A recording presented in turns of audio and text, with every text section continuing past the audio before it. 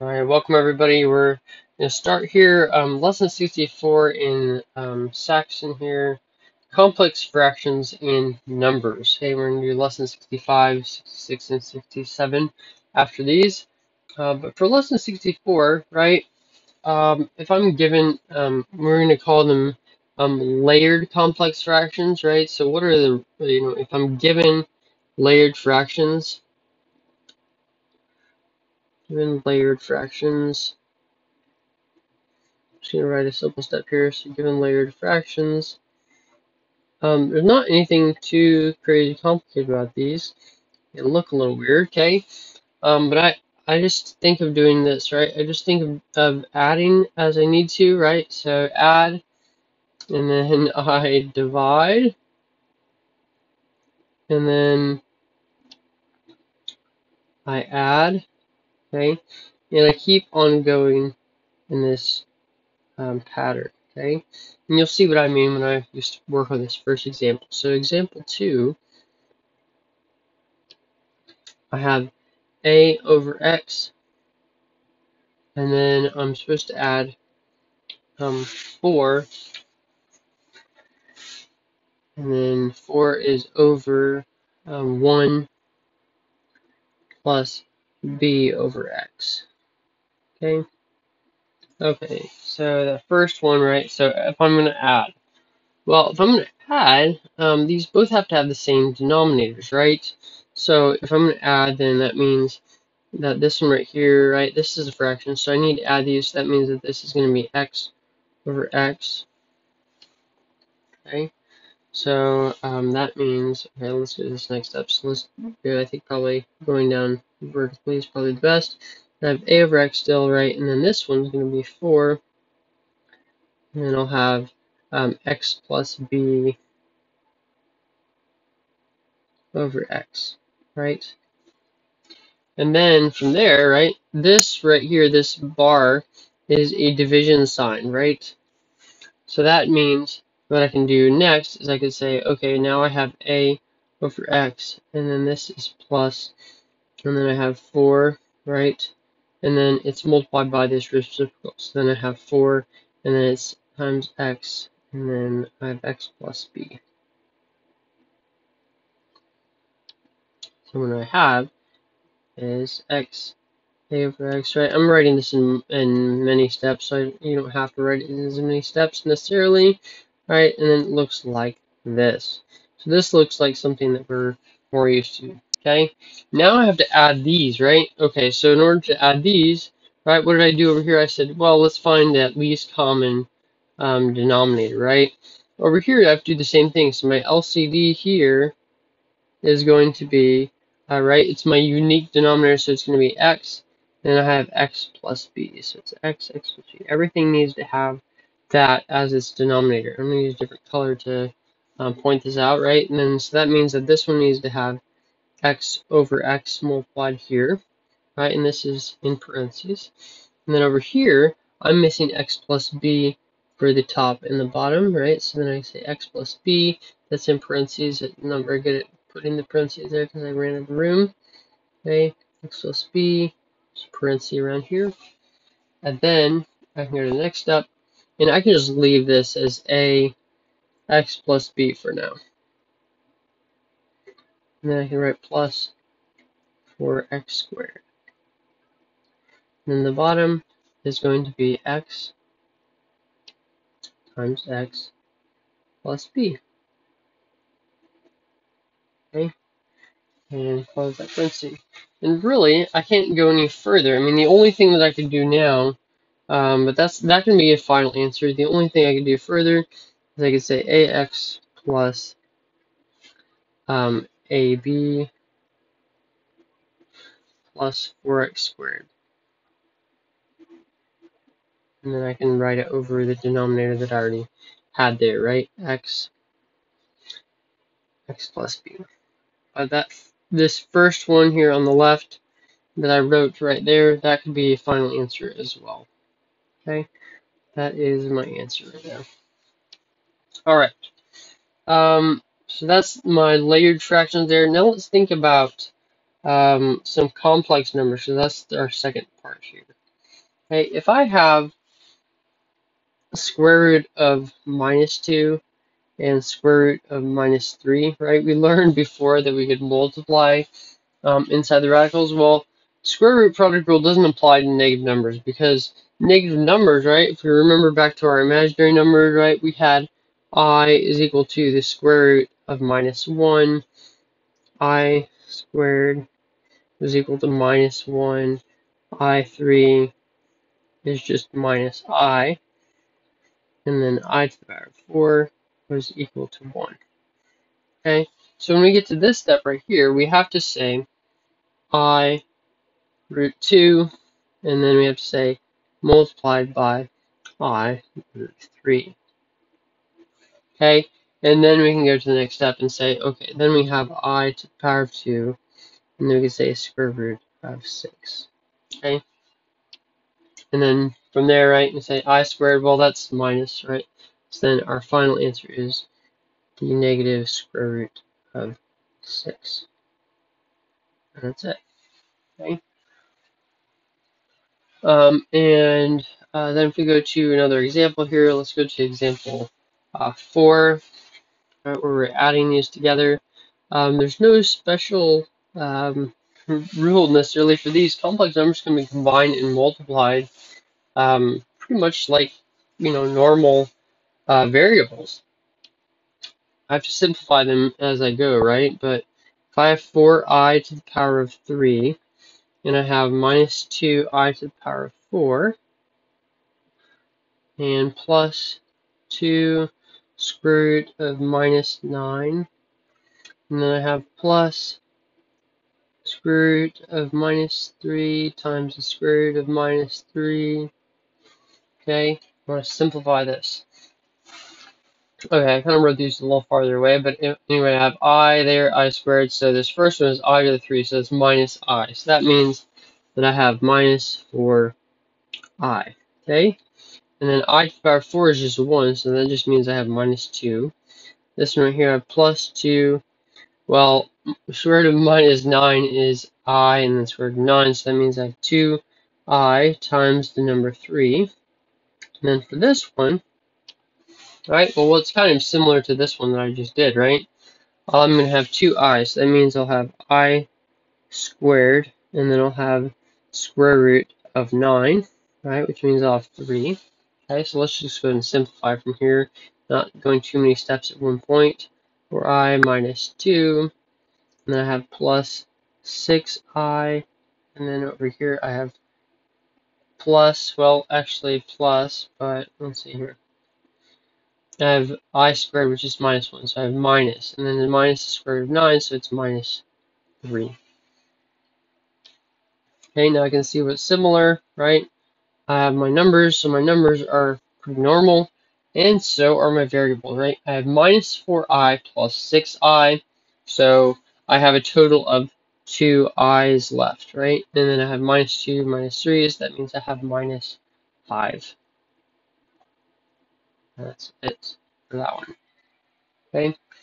Um, now you might have a situation where they give you a binomial to multiply, right? So example six. Like I said, there's not, you know, they can be multiplied and combined very similarly to variables.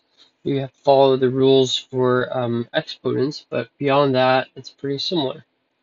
Okay, so now I have this one.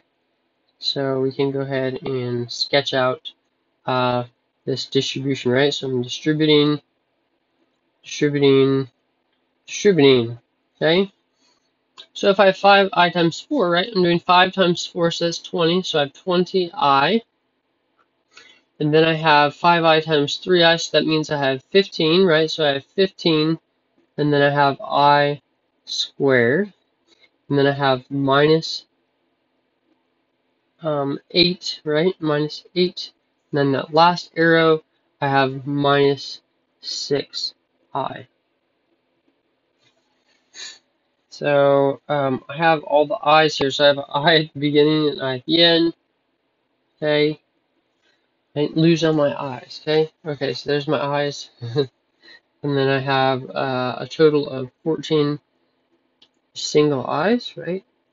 And then this right here, um, if I'm just going to list it here just to, in the interest of showing all my work, right, I'll have minus 15, minus 8. So then on the final answer, I'll have 14i, I'm going to have minus 23, okay? And that's my answer there, 14i minus 23. Okay. Or minus 23 plus 14i, however you want to write it. Um, and I think that take care takes care of that one right there. Um, you look at any other examples in here um, if you need extra help, and then just let me know. Um, and take advantage of tutor hours that I've offered by email as well. Work on the practice, and you move on to lesson 65. All right. So lesson 65 is about advanced substitution. Okay, lesson 65. We have advanced substitution.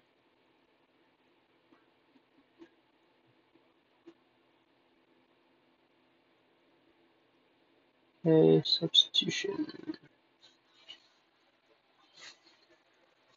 So I'm going to have four equations. Okay, so I have four equations. This is where it just this is why it's called advanced because you, you're dealing with a little bit more, right? You're just dealing with four equations, but it's not um, see that it's not too complicated here, right? But I have four equations and I have um, four variables.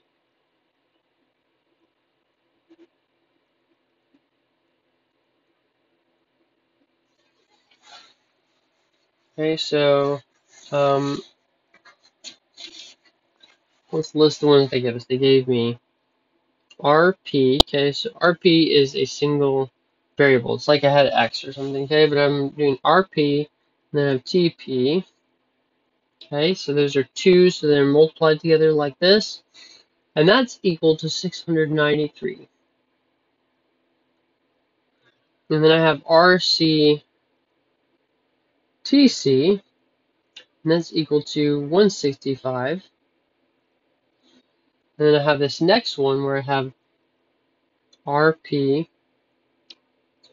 equals 3RC.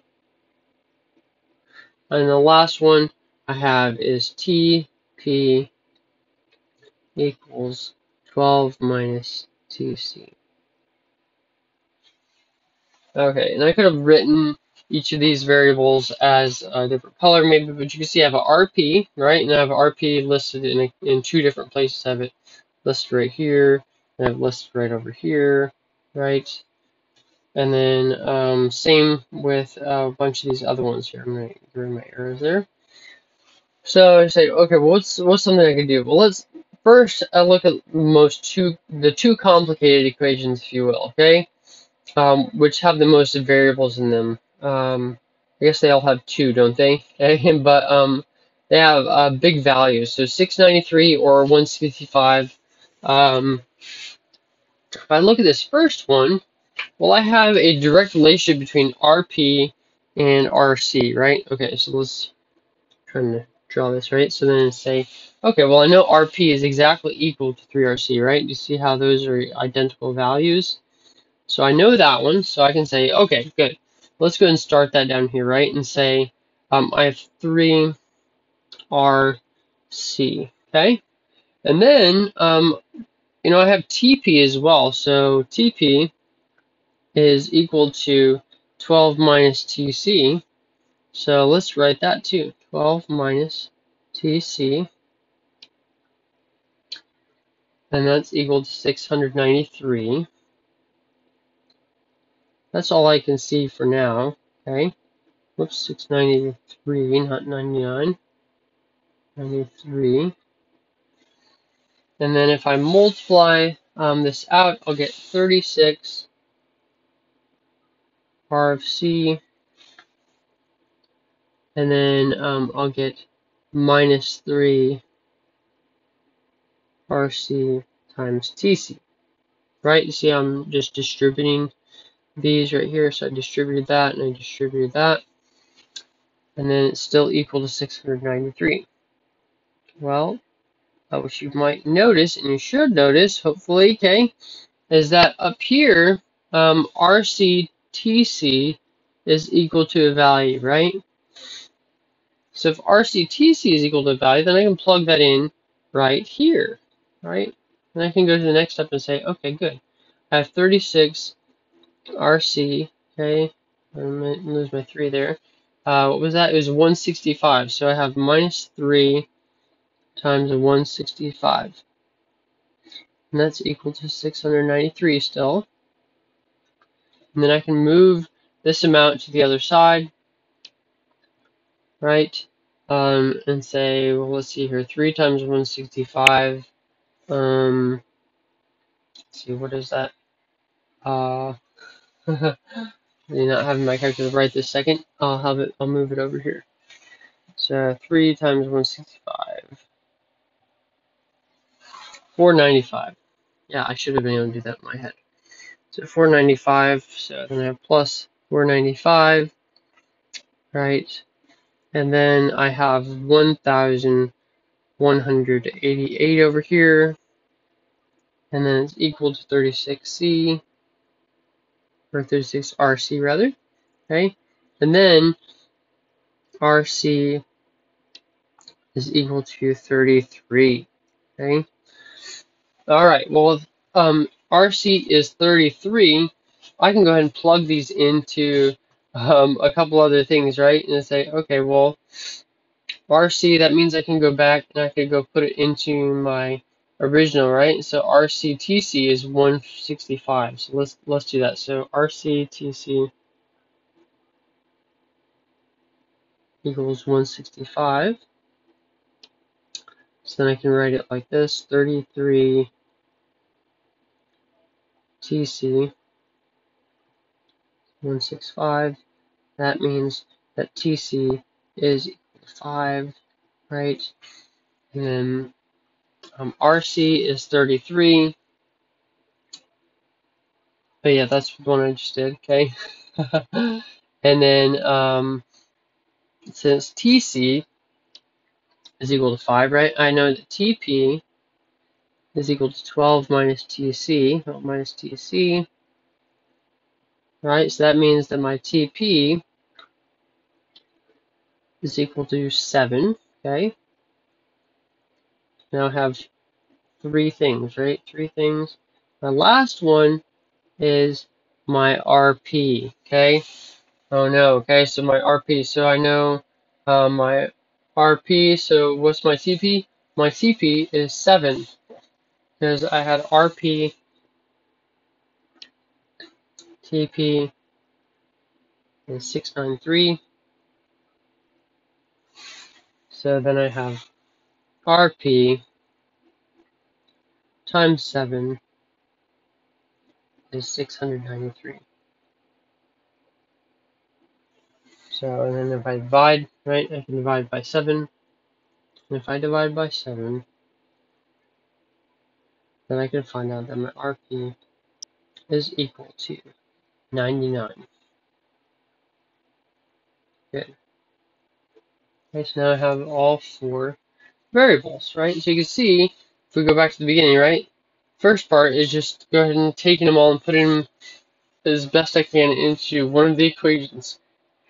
And it makes sense to put them into one versus the other. I could have done the other way around. There's not a, uh, you know, always a right way to do it. And then I substitute those things back in. So once I find one, then I say, okay, where does it make sense to put RC? It makes sense to put RC back where RCTC is, right? And then go from there. Okay, good. And that finishes up lesson 65. Go ahead and go there. You won't always have whole numbers.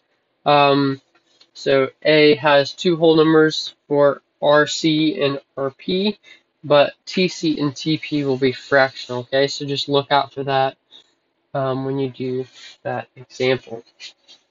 And move on to lesson 66 when you're ready. Okay, so less than 66 here. Less than 66. Think about fraction signs.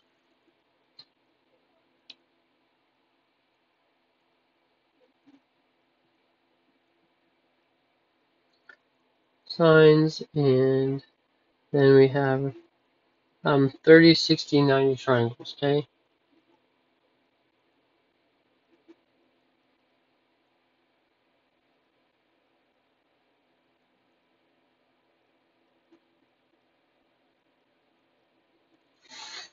Okay, so we have, um, uh, right, if I have something like um, minus a plus b, right, and so, you know, I'd rather um, uh, uh, write it a different way, right? And so I'd rather write, um, I could write it as b minus a or whatever, okay? That's obvious, okay? But what if I multiply um, something by um, a um, negative, right? So like, let's look at a fraction instead, maybe. Okay, so if I have minus 3 fourths, right? I could also write this as positive 3 over minus 4, right? There's nothing wrong with writing that.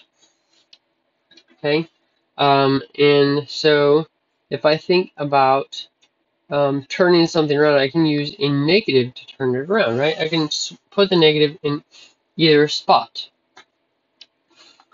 So let's look at example um, 2, okay? So make it a little bit more concrete here because um, that'll help, okay? I have 4x plus 5, okay? And then I have x minus 3 on the bottom. And then I'm told to add 2x minus 3 over 3 minus x. Okay, okay, that's a little funny denominator there, right? Well, yep, that um, is a little bit funny. So what I can do to switch these things around, right? I could say it's minus x plus 3, right? Okay, what I could, can do instead here is I can say, well, let's multiply um, the top and the bottom by minus 1, right? Because if I multiply the top and the bottom by the number minus 1, I'm really multiplying that term there by the number 1, right? Because minus 1 divided by minus 1 is the number 1. So obviously this first term stays exactly the same. So I have 4x plus 5 over x minus 3. And then over here, okay, um, if I look at this one right, so I could keep my plus here. But if I do minus 1 for this top part, then I end up with positive 3, so I'm going to write it backwards. And I'm going to say 3 minus 2x. And then over here, then I can write x minus 3. See how it just switches those things around, right? And then it's easier to add these things, right? Because then you say, okay, 4x plus 5 plus 3 minus 2x. I can directly add those because they have the same denominators, right? And then I just have 2x plus 8 over x minus 3. Pretty simple. Okay, we're going to apply this um, to another example here. Okay. Um, so example 1. So example 1. And we'll use it in in next in our, some of our next lessons. It's really useful. Okay, so I have 1, and then I have x minus 3, and then I have minus 7a, and then um, on the uh, bottom I have 3 minus x. And then I can go ahead and write minus 1 over minus 1 right? And then um, I'll have 1 over x minus 3. And then over here, instead of minus 7a, then I'll have plus 7a, and then I'll have x minus 3. And then I'll have 1 plus 7a on the top, which I wasn't able to combine anything anyway, right? And then it's over x minus 3. Okay. All right, pretty straightforward. Now let's think about um, triangles, okay? So triangles, and let's see here. So triangles, I have um, this triangle here that's a 30, 60, 90 triangle, which means, right, I have a 90 degree here, and then I have a 30 here, and I have a 60 here. Well, for ones like this, I have um, a um, a a one here. Okay, so I have a one where the 60 is, and then uh, it means I have a two here, and then I have a square root of three here. Okay, so this is really valuable because I can use it to compare other 30, 69 triangles. I don't have to necessarily have this um, memorized, but if as long as I have some either this or a trig function, right, sine, cosine, tangent, then it would work. So for example, 3, I have a triangle um, that looks like um, this, similar, okay, um, but it looks like this, okay, and instead I have x, y, 5, and then my 90 degree, or my 60 degree rather, is right here. And my 30 degree is right here. Okay? So it doesn't look exactly the same as this one, right?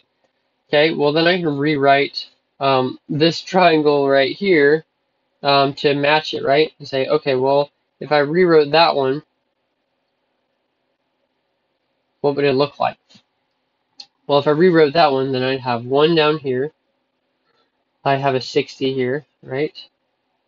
And then this would be 30. Oopsie. I'm trying to write 30. 30. This is 90. And then um, I'd have 2 here. And then I'd have um, the square root of 3 over here. Okay? And I'm going to try to find x and y, right? So if I want to find x and y there, right? I can say, well, let's do um, big triangle to small triangle. I like doing big to small, but you can do small to big if you want to. Okay, but if I do big to small, then I would say 5 is to 2 as y is to 1, right? And then I go ahead and cross multiply and say, okay, then I can do 5 like this, right? Then I can say 2y is 5, right? And so then y is 5 over 2. Okay? And then if I want to do the other way, right, then I say, uh, or find the other missing one, right, and then I say 5 is to 2 as x is to root 3. And then I ahead, go ahead and cross multiply again, right? Cross multiply like this. And then I end up with 2x is 5 root 3. And then x would be 5 root 3 over 2. Pretty standard stuff here, okay? So if you have any questions over this, um, let me know. Um, but that's how those are going to work and go to the examples and see if you have any questions over that. Okay, next, and finally, lesson 67 this is where we're going to apply what we just learned in this lesson because we're going to eliminate radical denominators, okay? So that's what this lesson is called, radical denominators, okay? So lesson 67.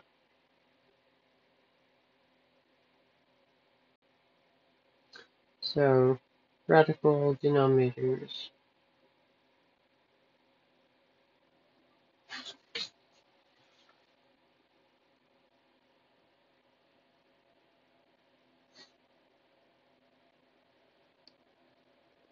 Anything radicals, well those are things that are in square root symbol, yes, okay? So, um, what we're going to learn here is a what a conjugate is. Okay, So a conjugate. So a conjugate is simply flipping the signs of each term. Okay, so uh, right, so we have a conjugate, right?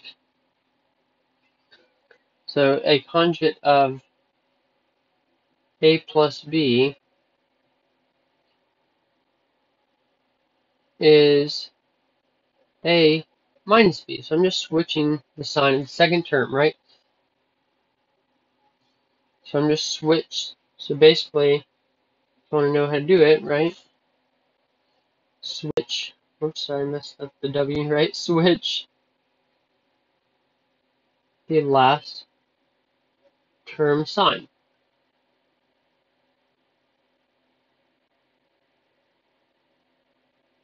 Okay? So let's look at how example 1 would work. So example 1, I just have 1 over minus 4 plus root 3. Okay, now you say, well, you know, what can I really simplify here? Well, I'm I don't want the radicals to be in my denominator, okay, for whatever reason, but just take this, right? So um, it's easier to divide by, um, you know, normal numbers, right, 4 or whatever, versus dividing by a square root or something, okay? So what I want to do here is multiply, right, multiply by um, the conjugate, right? So multiply top and bottom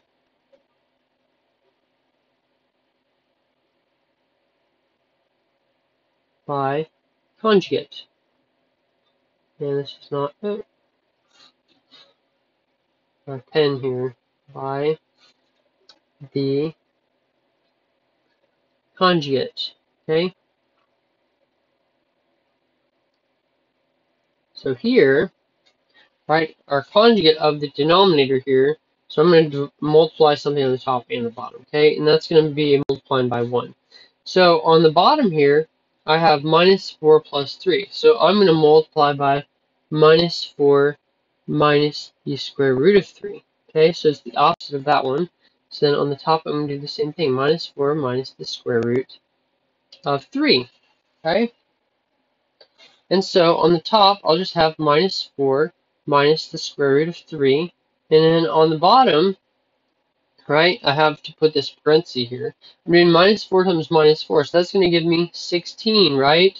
Yeah, and then um, then I'm going to have uh, minus 4 times minus square root of 3, right? So that's going to give me plus 4 root 3. And then I'm going to do root 3 times minus 4, which is going to be minus 4 square root of 3. And then I'll do minus the square root of 9. Right, because I multiplied those together. And then you can see, right, these two middle terms right here are going to cancel each other out. So then I'll have minus 4 minus root 3, and then it's going to be divided by 16, and then these two, right, these are going to cancel, so I'll have 16 minus 3, which means I'll have minus 4 minus root 3 over 13. And that's it, okay? So the conjugate there, I'm just switch, switching the sign of my last term, right? Um, and then it gets rid of my radical in the denominator. Alright, and that finishes up lesson 67. If you have any questions over any of this, please uh, let me know, and uh, then I'll, I'll see you guys next week. And um, have a good day.